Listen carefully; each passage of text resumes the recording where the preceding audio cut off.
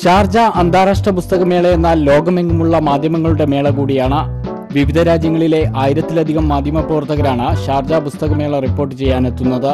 എന്നാൽ ഇത്തവണത്തെ മേളയിൽ വേറിട്ടൊരു റിപ്പോർട്ടിംഗ് രീതി പരീക്ഷിച്ചാണ് ദുബായ് സ്പോർട്സ് ടി വിയിലെ ന്യൂസ് റിപ്പോർട്ടറും അവതാരകനുമായ Jasim Muhammad Sultan Al Shiyemi എത്തിയത്. സെൽഫി സ്റ്റിക്ക് ഉപയോഗിച്ച് ഐഫോൺ ഫ്രണ്ട് ക്യാമറയിൽ സെൽഫി വീഡിയോ റെക്കോർഡ് ചെയ്താണ് ജാസിം മുഹമ്മദ് എന്ന യുവമാധ്യമ പ്രവർത്തകൻ ഇത്തവണത്തെ ഷാർജ പുസ്തകമേള റിപ്പോർട്ട് ചെയ്യാനെത്തിയത്. ചാനൽ ലോഗോയോട് കൂടിയ മൈക്ക് ഫോണിൽ ഘടിപ്പിച്ചാണ് അഭിമുഖങ്ങൾ ജാസിം റെക്കോർഡ് ചെയ്തത്.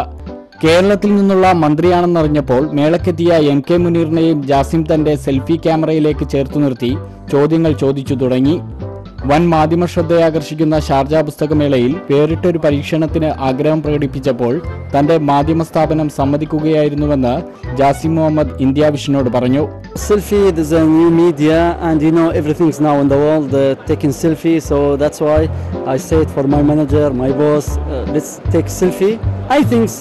One of the best things in Sylvie all the people feel comfortable. If I said hello, uh, selfie program, I want to say something. He said, oh okay, uh, why not? Oh, new style for media. അങ്ങനെ selfie ജ്വരം വർദ്ധിക്കുന്ന കാലത്തെ selfie റിപ്പോർട്ടറുമായി Muhammad Jasim ലോകമെങ്ങും ഇത് സെൽഫിയുടെ കാലം ദുബായിലെ selfie റിപ്പോർട്ടർക്കും ക്യാമറമാൻ അലക്സ് നിലമ്പൂരിനുമൊപ്പം ഷംസീർ ഷാൻ ഇന്ത്യ വിഷൻ